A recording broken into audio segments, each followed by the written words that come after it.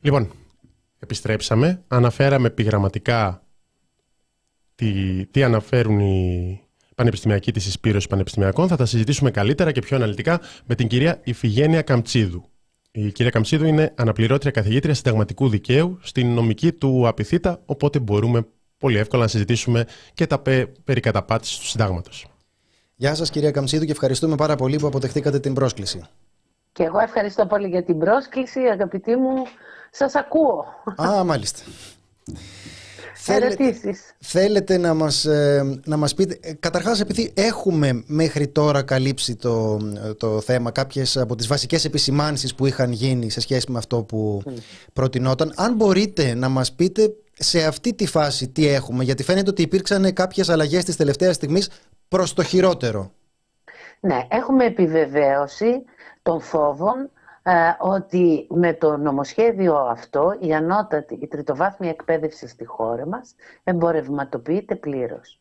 Ε, τι συμβαίνει, ενώ ε, οι, οι διακηρύξεις της κυβέρνησης και των ε, συνοδοιπόρων της ε, εστιαζόταν στο ότι τα ιδρύματα τα οποία τα νομικά πρόσωπα ιδιωτικού δικαίου που θα ιδρυθούν για να παρέχουν ε, τριτοβάθμια εκπαίδευση θα ήταν μη κερδοσκοπικά. Από αυτές τις τελευταίες τροπολογίες, τις τελευταίες αλλαγές προκύπτει ότι ε, δεν, ε, ο, ο μη κερδοσκοπικός χαρακτήρας τους εξαερώνεται σταδιακά. Πώς, πώς γίνεται αυτό; Πώς γίνεται αυτό; Πρώτη τροποποίηση. Ε, δίνεται η δυνατότητα με μια απλή συμφωνία που την ονομάζουν εκπαιδευτική συμφωνία, δηλαδή με ένα έγγραφο που θα καταρτήσουν ε, ακόμη και ένας ιδιώτης όπως προβλέπεται στο νόμο, με ένα πανεπιστημιακό ίδρυμα της Αλοδαπής θα μπορεί να ιδρυθεί ε, νομικό πρόσωπο πανεπιστημιακής εκπαίδευσης, όπως το λένε. Έχουν εξαλειφθεί ακόμα και οι όροι franchising και validation προκειμένου να συγκαλυφθεί το ε, θέμα ότι κολέγια που λειτουργούν με αυτού του είδους τις συμβάσεις με μια πολύ απλή έγγραφη συμφωνία ανάμεσα στο μητρικό ίδρυμα και στον ιδιοκτήτη του κολεγίου θα μετεξελιχθούν σε πανεπιστήμια. Δεύτερο, ε, αυτό που επιτρέπεται πλέον μετά τις πρόσφατες αλλαγές είναι η διανομή των κερδών που θα πραγματοποιούνται. Υπενθυμίζω, τα πανεπιστήμια αυτά θα λειτουργούν με διδακτρα Δηλαδή θα εισπράττουν ε, αντίτιμο για τις παρεχόμενες υπηρεσίες. Και όπως κάθε οικονομική δραστηριότητα θα έχουν και αυτά κάποια κέρδη. Ενώ Λοιπόν, υποστήριζε η κυβέρνηση ότι τα πανεπιστήμια θα είναι μη κερδοσκοπικά. Άρα όλα τα έσοδα, όλο το οικονομικό προϊόν θα έπρεπε να επενδύονται εκ νέου στη λειτουργία του Ιδρύματος. Που και αυτό δεν ήταν μια μεγάλη εγγύηση. Γιατί θα μπορούσαν να δώσουν στους αριστούς καθηγητές υψηλότερους μισθούς. Στα μέλη της διοίκησης υψηλότερες αποζημιώσεις. Ναι, δεν είναι δεδομένο, δηλαδή δεν ήταν δεδομένο έτσι κι αλλιώς ότι αυτά θα πηγαίνουν σε εξοπλισμούς, υποδομές, νέα κτίρια. Αυτό λέμε. Ακριβώς. Αυτό, δεν, αυτό δεν ήταν δεδομένο ούτως ή άλλως. Τώρα τι γίνεται; Το απελευθερώνει, δηλαδή πολλές κερδοσκοπικές επιχειρήσεις λειτουργούν ως μη κερδοσκοπικές. Ε, ε, το απελευθερώνει πλήρως και τα ε, κέρδη από το ελληνικό υποκατάστημα θα μπορούν να μεταφέρονται στο uh, μητρικό uh, πανεπιστήμιο της Αλοδαπής, το οποίο θα τα αξιοποιεί uh, όπως αυτό πιστεύει. Θα τα εισπράττει όμως ως κέρδη. Αυτό είναι σημαντικό. Τρίτο, καταργείται το ανώτατο όριο διδασκαλίας που προβλεπόταν στο νόμο για τους διδάσκοντες. Ο νόμος έλεγε μέχρι 12 ώρες για τα μέλη ΔΕΠ των δημοσίων πανεπιστημίων ε, οι ώρες είναι 9, ασχέτως αν κατά ανάγκη τις υπερβαίνουμε γιατί δεν έχουμε προσωπικό. Όμως το νόμιμο είναι μέχρι 9 να διδάσκουμε. Και τώρα καταργείται, και, και καταργείται το όριο για 12. Καταργείται το, το 12 λεπτό. Να κάνω την πολύ, την πολύ απλή ερώτηση. Γιατί υπάρχει αυτή η πρόβλεψη στο Δημόσιο Πανεπιστήμιο; Γιατί η πανεπιστημιακή διδασκαλία συνδέεται με την έρευνα και η προετοιμασία αυτών των ορών απαιτεί από τους διδάσκοντες μια διαρκή ενημέρωση στα σύγχρονα ερευνητικά πορίσματα, απαιτεί από τους διδάσκοντες να διενεργούν η ίδια έρευνα. η οποία έρευνα, επιτρέψτε μου την παρένθεση, στην ουσία αυτή τη στιγμή στηρίζει τη λειτουργία των δημοσίων πανεπιστημίων.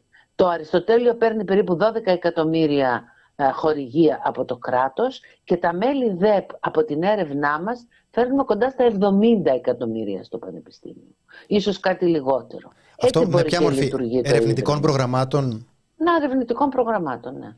Μάλιστα. Οπότε αυτό που συμβαίνει τώρα είναι ότι θα έχεις καθηγητές οι οποίοι δεν θα έχουν χρόνο να διαβάζουν και να γράφουν. Θα είναι εκεί ναι, πέρα για να διδάσκουν επειδή αυτός, αυτό φέρνει χρήματα. Από τη στιγμή που δεν υπάρχει κανένα όριο, θα υπερβαίνουν και το επιτρεπτό όριο για τους καθηγητές της δευτεροβάθμιας εκπαίδευσης. Δηλαδή ένας καθηγητής μπορεί να καλεί να διδάσκει 25 ώρες την εβδομάδα. Ναι. Προφανώς συμφέρει περισσότερο την ε, επιχείρηση σε αυτή την, ε, σε αυτή την περίπτωση να έχει τον καθηγητή να, φέρνει, να διδάσκει όσο το δυνατόν περισσότερους μαθητές. Οι οποίοι πληρώνουν Τελε... δίδακτρα. Ναι. Τελευταίο, αλλά όχι έσχατο, είναι η κατάργηση οποιοδήποτε κριτηρίου πιστοποίησης. Στο νομοσχέδιο που είχε τεθεί υποδιαβούλευση, προβλεπόταν ότι η ΕΦΑΕ, η αρχή πιστοποίησης δηλαδή των η αρχή διασφάλισης ποιότητας ε, των ακαδημαϊκών ιδρυμάτων της χώρας, η οποία θα χορηγούσε άδεια λειτουργίας στα ιδιωτικά πανεπιστήμια, θα έπρεπε να το πράξει ε, αξιοποιώντας μια σειρά από κριτήρια που περιέχονται ε, στην Ευρωπαϊκή Χάρη την τριτοβάθμια εκπαίδευση. Αυτό εξαλείφθηκε. Άρα η ΕΦΑΕ κατά νόμο δεν θα μπορεί να απαιτήσει ε, να πληρούνται ορισμένες προδιαγραφές σε ό,τι αφορά τις εγκαταστάσεις και κυρίως όμως τον τρόπο άρθρωσης της ακαδημαϊκής λειτουργίας, της ε, εκπαιδευτικής λειτουργίας. Θα ε, γίνει ένας απλός τροχονόμος των ιδιωτικών πανεπιστημίων. Αυτό είναι πολύ θλιβερό για τη χώρα μας. Κύριε Καμτσίδου, αυτό, αυτοί, αυτές οι διαφορές έγιναν μεταξύ της δημόσιας διαβούλευσης και της κατάθεσης στη Βουλή. Στη δημόσια διαβούλευση είδαμε και τα σχόλια. Οι φορείς, οι πανεπιστημιακοί, εσείς, ας πούμε, συνταγματολόγοι, πάλι έχετε και αυτή την ιδιότητα, τοποθετήθηκαν κατά των ε, ιδιωτικών πανεπιστημίων. Οπότε τίθεται το ερώτημα πώς προέκυψε αυτή η χαλάρωση των ε, κριτηρίων κατά την άποψή σας μεταξύ της διαβούλευσης και της κατάθεσης στη Βουλή. Γιατί θεωρητικά, mm. εσείς το γνωρίζετε πολύ καλύτερα από μένα, το θεσμικό κομμάτι, κατατίθεται σε διαβούλευση, φορείς εκφράζουν ε, ενστάσεις, δεν ξέρω εγώ τι, ακούσαμε πάρα πολλές ενστάσεις και έρχεται ένα ακόμα χειρότερο νομοσχέδιο στη Βουλή. Ε, υπόθεση μπορώ να κάνω. τα, η, η ίδρυση και η λειτουργία των ιδιωτικών πανεπιστημίων θα αμφισβητηθεί δικαστικά, δεν υπάρχει αμφιβολία γι' αυτό.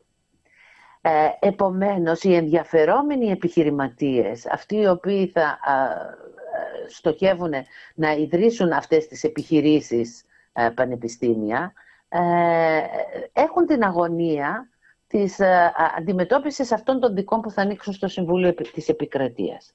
Όσο λιγότερες προϋποθέσεις προβλέπει ο νόμος, τόσο πιο δύσκολο θα είναι για το ανώτατο ακυρωτικό να ελέγξει την νομιμότητα και τη συνταγματικότητα της ίδρυσης. Κυρίως όμως από πρακτική άποψη. Όταν υπάρχουν ελάχιστες προϋποθέσεις για την ίδρυση αυτών των καταστημάτων, ε, τότε ε, θα μπορούν να τα κάνουν γρήγορα, ώστε να βρεθεί και η ελληνική δικαιοσύνη ενώπιον τετελεσμένων. Να χρειαστεί δηλαδή να κρίνει αντισυνταγματικό νόμο που παρήγαγε ήδη αποτελέσματα. Ναι, γιατί ετοιμαζόμουν εγώ να ρωτήσω πώς γίνεται. Πίεση από το πραγματικό γεγονός ότι θα έχουμε φοιτητές που θα, ήδη θα σπουδάζουν σε αυτά τα ιδρύματα. Θα σπουδάζουν σε αυτά τα ιδρύματα. Ναι, ναι, ναι. Γιατί η χαλάρωση, εμένα μου έμοιαζε στην αρχή έτσι όπως ξεκινήσατε να το λέτε, κάπως αντιφατικό. Ο σκοπός θεωρητικά είναι να, έχει, να εγγυηθεί η κυβέρνηση τα υψηλότερα κριτήρια και, την απόλυτη, και τον απόλυτο έλεγχο όσο γίνεται, ώστε να γίνει αυτή η παράκαμψη του άρθρου 16. Αγαπητή κυρία Καμίλα, η κυβέρνηση ξέρει πολύ καλά ότι μεταθέτοντας την πανεπιστημιακή εκπαίδευση στο πεδίο του ιδιωτικού δικαίου, την εμπορευματοποιεί και τη θέτει υπό την προστασία των οικονομικών ελευθεριών. Άρα ούτως ή άλλως η δυνατότητα παρέμβασης του κράτους, αν το πανεπιστήμιο ιδιωτικοποιηθεί, θα είναι περιορισμένη. Το κάθε κλάδος του δικαίου έχει τις δικές του θεμελιώδεις αρχές και τις δικές του θεμελιώδεις ελευθερίες και δικαιώματα. Ε, θέλω να επιμείνουμε λίγο σε, σε αυτό. Ξεκινήσατε να το συζητάτε ούτως ή άλλως και εγώ ε, σκεφτόμουν να το, ε, ότι θα το κουβεντιάζαμε. Έχετε υπογράψει, είστε ανάμεσα στους 8 πανεπιστημιακούς συνταγματολόγους που εχουν υπογράψει σε σχέση με την συνταγματικότητα ή στην πραγματικότητα την αντισυνταγματικότητα της, εξέλιξη ε, αυτής, της ιδιωτικοποίησης της ανώτατης ε, παιδείας. Οπότε ε, το, το ερώτημα είναι, μπορείτε να μας περιγράψετε λίγο πρακτικά ποιες είναι οι συνέπειες που προκύπτουν από αυτό. Δηλαδή, θα υπάρξει μια προσφυγή, θα υπάρξει μια κρίση επί της συνταγματικότητας. Ε, έστω ότι ήδη έχουν προλάβει να λειτουργήσουν κάποιες σχολές. Οπότε, ας πούμε ότι υπάρχει μια άτυπη ομάδα πίεσης εκεί πέρα, όχι μόνο από τις σχολές, αλλά και από τους ε, σπουδαστές και τους τους φοιτητές και τους γονείς τους που λένε Εμείς πληρώσαμε και μας είπατε ότι είναι πανεπιστημιακά και τώρα μας λέτε θα μας το πάρετε πίσω. Mm-hmm. Πώς προβλέπετε την νομική νόμος, εξέλιξη ναι, ναι. αυτής της διαδικασία. Όταν ένας νόμος κρίνεται αντισυνταγματικός, οφείλει η Βουλή, ε, δηλαδή στην ουσία η κυβέρνηση που εισηγείται στη Βουλή, να βρει τρόπο ε, να ρυθμίσει την κατάσταση ώστε να σταματήσει η αντισυνταγματικότητα και να αντιμετωπιστούν τυχόν νομικά ζητήματα που έχουν ε, γεννηθεί. Ε, να φέρω ένα παράδειγμα από την ιστορία. Ε, είχαν, όταν είχε γίνει ο πόλεμος στη Ιουγκοσλαβία, ε, είχαν ε, υπάρξει νομοθετικές ρυθμίσεις με τις οποίες Έλληνες σπουδαστές και, και σπουδάστριες από τα, κράτη της, τα κρατήδια της τέως ε, Ιουγκοσλαβικής Ομοσπονδίας μετεγράφησαν στα ελληνικά πανεπιστήμια. Άρα θα πρέπει τότε ο νομοθέτης να βρει έναν τρόπο να αντιμετωπίσει το πρόβλημα. Το καλό θα ήταν όμως να μην εισαχθεί ένας νόμος που είναι τόσο πρόδειλα αντισυνταγματικός. Θα είναι ένα τραύμα για την ένωμη μας τάξη, θα είναι ε, μια επιβεβαίωση ε, της ε, αγωνίας των Ευρωπαίων εταίρων μας ότι το κράτος δικαίου στην Ελλάδα αντιμετωπίζει σημαντικά προβλήματα, το να παραβιάζεις τόσο απροκάλυπτα το σύνταγμά σου είναι η καλύτερη ε, ε, ε επικύρωση από των πορισμάτων του Ευρωπαϊκού Κοινοβουλίου. Αφού όμως αυτή η κυβέρνηση περνάει αυτόν τον ε, νόμο τώρα, τι, τι αποκλείει να, έχουμε, να είμαστε και σε μια επόμενη φάση σε ένα στάδιο ας πούμε με διάφορες νομικές ακροβασίες να βρεθεί ένας τρόπος να ξαναπεί το, το κοινοβούλιο ότι όχι δεν υπάρχει πρόβλημα. Μιλάμε για, το συμβούλιο, μιλάμε για το Συμβούλιο της Επικρατείας. Είναι... Έχει ξαναπαρακάμψει το Συμβούλιο της Επικρατείας. Ε, θα έλεγα ναι, αλλά ε, εδώ, είναι κάτι, ε, εδώ είναι κάτι ε, πρωτόγνωρο με την έννοια ότι ε, σε, στις προγενέστερες περιπτώσεις υπήρχε η δυνατότητα ερμηνευτικής διαφυγής με κάποιο τρόπο. Εδώ είναι ή ε, ο ορισμός του συντάγματος, δηλαδή νομικά πρόσωπα δημοσίου δικαίου ε, πλήρως αυτοδιοικούμενα ή ιδιωτικές επιχειρήσεις. Και αυτό το νομοσχέδιο πια χωρίς καμιά αμφιβολία, καμιά αμφιβολία, ε, επιτρέπει την λειτουργία ιδιωτικών επιχειρήσεων που θα παρέχουν τριτοβάθμια εκπαίδευση. Ε, βλέπω και τις ερωτήσεις στο, στο chat, κυρία Καμτσίδου. Ε, μία από αυτές που έχει ενδιαφέρον είναι αν η εκτίμησή σας είναι ότι θα ρισκάρουν οι ιδιώτες να ανοίξουν πανεπιστήμια με ανοιχτό το ενδεχόμενο της αντισυνταγματικότητας του νόμου. Είδα, αν δεν κάνω λάθος, ήταν ε, ο συνάδελφός σας, ο κύριος Κοντιάδης, που είπε ότι αν ήμουν ιδιοκτήτης δεν θα το έκανα μέχρι να αναθεωρηθεί το 16. Ο κ. Κοντιάδης συνυπέγραψε μαζί σας την, ε, την δήλωση των πανεπιστημιακών. Ακριβώς. Οπότε, ακριβώς. Ναι. ναι, κοιτάξτε, γιατί υπάρχουν πολλές αντισυνταγματικότητες. Κάποιες από αυτές τις είπαμε, κάποιες άλλες που είναι και κοινωνικά εξαιρετικά κρίσιμες, είναι η παραβίαση της ισότητας. Με πολλούς τρόπους. Υποψήφοι περισσότερων ταχυτήτων. Κάποιοι θα εισάγονται στη νομική Θεσσαλονίκη με 18.000 μόρια και κάποιοι άλλοι θα πηγαίνουν στο college των τριών ορόφων που θα το έχουμε βαφτίσει πανεπιστήμιο και θα εισάγονται με 8.500 mm μόρια.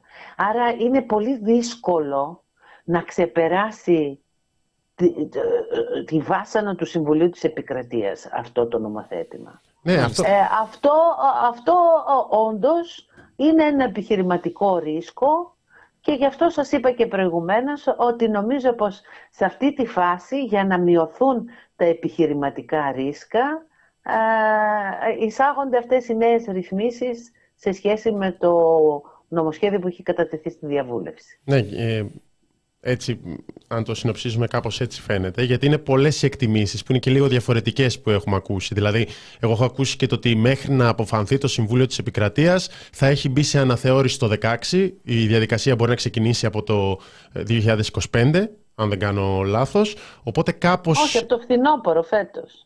Το 24? Ναι, ναι. Okay. Ε, ότι να ξεκινήσει η διαδικασία του 16 κάπως να δημιουργηθούν κάποια τετελεσμένα. Οπότε από ό,τι καταλαβαίνω στόχος φαίνεται να είναι να υπάρξει κάποια μεσοβέζικη απόφαση του ΣΤΕ λαμβάνοντας υπόψη κάποιο είδους τετελεσμένο. Θα έχουμε φοιτητές, θα έχουμε αναθε... το 16 που αναθεώρηση. Δεν ξέρω αν συμφωνείτε με αυτή τη σύνοψη. Είναι, και, και αυτό είναι ένα ενδεχόμενο ότι ε, αν έχει ξεκινήσει η διαδικασία της αναθεώρησης, ακόμα και αν δεν έχει ολοκληρωθεί, ε, όταν θα αχθεί προσυζήτηση στο Συμβούλιο της Επικρατείας ε, το σχετικό ένδικο βοήθημα, ε, με κάποιο τρόπο ίσως το λάβει υπόψη του το, το Συμβούλιο Επικρατείας. Βέβαια το ότι θα βρίσκεται σε κρεμότητα μία ε, Ότι είναι αντισταγματικό τώρα, αλλά σε λίγο δεν θα είναι γιατί θα το έχουμε αλλάξει. Ακριβώς. Θα το έχουμε υποψήφιο για αλλαγή, γιατί θέλει 180 στην αρχή, μετά 151 ή το ανάποδο. Ή το ανάποδο, ναι. Ναι, ναι, ναι. ναι. Δηλαδή δεν υπάρχει περίπτωση να έχει, όταν θα γνωμοδοτήσει, όταν θα αποφασίσει το ΣΤΕ, δεν υπάρχει περίπτωση να έχει αναθεωρηθεί, να έχει ολοκληρωθεί η αναθεώρηση του 16. Η αναθεώρηση, ναι, είναι δύσκολο. Εκτός αν ο κύριος Μητσοτάκης πάει νωρίτερα σε εκλογές, ε, προκειμένου να. Να πετύχει αυτό, νομίζω. Να πετύχει αυτό. Ναι. Θα έλεγα ότι εντάξει μια ολόκληρη χώρα να συρθεί στις εκλογές για να ικανοποιηθούν ένας περιορισμένος αριθμός ανθρώπων. Ναι, είναι υπερβολικό, αλλά τέλος πάντων να περιμένουμε να δούμε. Μάλιστα. Σας ε, ευχαριστούμε πάρα πολύ